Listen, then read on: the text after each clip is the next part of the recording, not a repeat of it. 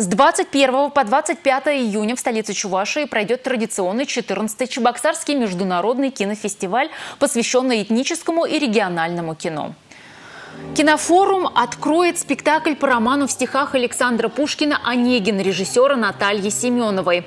Композитором постановки выступил Алексей Айги. В спектакле задействованы заслуженный артист Российской Федерации Сергей Чинишвили, Даниил Страхов, Сергей Шнырев, Алиса Гребенщикова. Торжественная церемония открытия кинофестиваля и постановка «Онегин» будут представлены 21 июня в Чувашском государственном театре оперы и балета.